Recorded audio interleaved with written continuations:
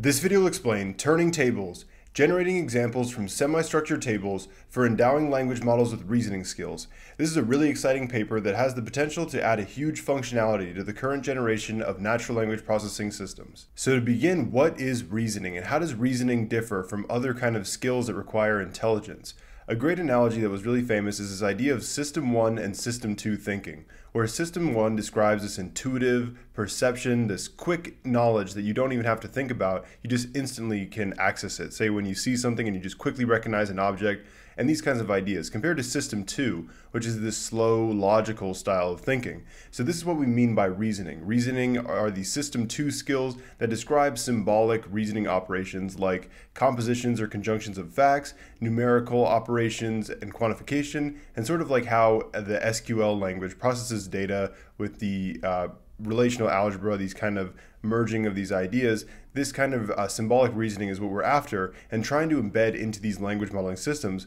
that do a great job at these system one quick perception tasks, but aren't so great at these system two reasoning skills. So we have two camps for trying to add reasoning skills to the current generation of deep learning systems. The first of which is to add specialized components for specific skills like numerical and temporal reasoning. This is where the neural network system 1 model will parse the scene and then fill out a table in which you have a symbolic language to aggregate the results of that table. Here's a recent uh, example covered in one of the AI Weekly Update videos showing how that you have this neural system that can generate a table and then you have some symbolic aggregation language for doing this uh, database reasoning over text where you want to answer these symbolic uh, database questions like list everyone born before 1980 which if you just put this as a uh, prompt and then mask and have a language model try to do it would be a really hard task and this is the kind of symbolic uh, reasoning task where the current language models would fail. So instead you break the system down into a two-part system where you have the uh, language, the flexibility of the language model combined with the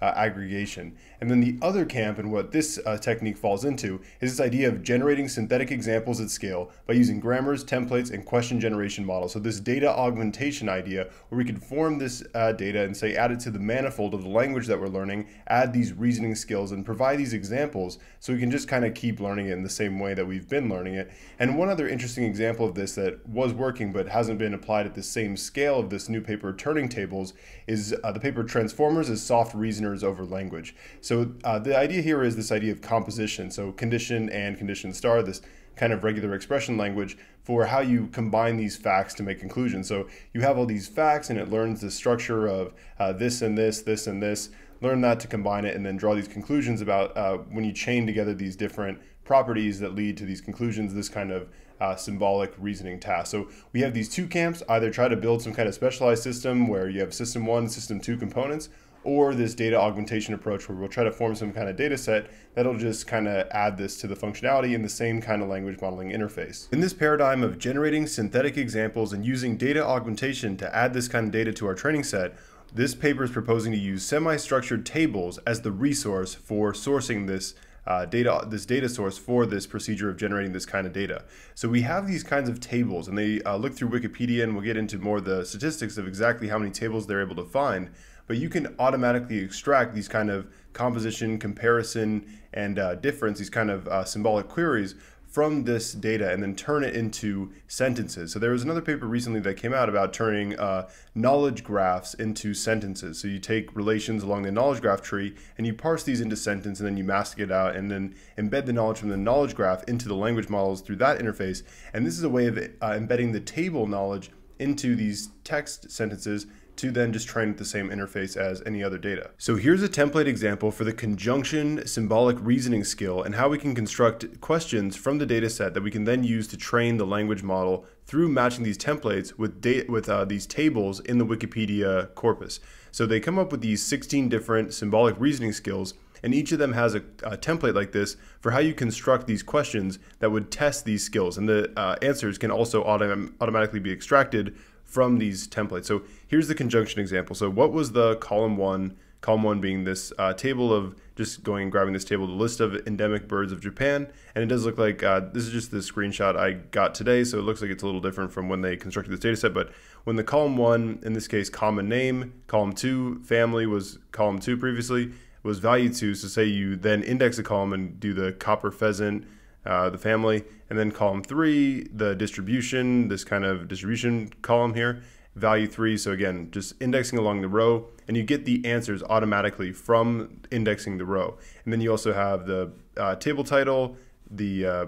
uh, list of species, the page title, list of endemic birds of Japan, so. So you, you, get this idea of how you use these tables in order to generate these questions automatically, and you can do this at scale through the use of designing these templates. So this is kind of this idea of, uh, say, pattern exploiting training, prompting, where you have this kind of strategy of extracting uh, training data. So it's not quite like uh, prompting, but it is this idea of this like data augmentation template that you can insert into these uh, language prompt, these language uh, examples to get this uh, training data, and particularly these training these templates, these example generators generate these particular kind of reasoning skills. So these tables can be crawled from the web at scale, and Wikipedia includes millions of these tables with high lexical and domain diversity. Domain diversity being, say, these birds in Japan compared to the who won the NFL Super Bowl over the last few years, all these different kinds of information that is contained in Wikipedia. So in this study, they have 176,000 distinct tables, of which using these templates, they construct nearly 5 million distinct questions. So these, these are 5 million questions